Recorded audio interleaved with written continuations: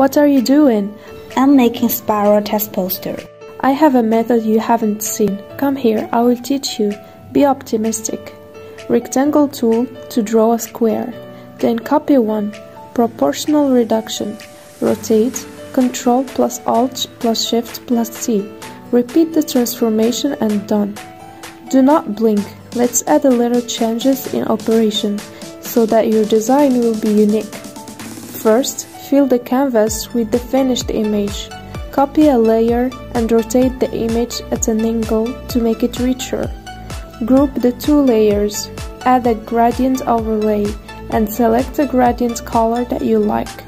We input three paragraphs using perspective and deformation in free transformation to deform each paragraph so that it is embedded in the graphics.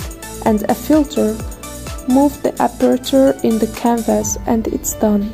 It's better to practice it yourself than watch the video a thousand times.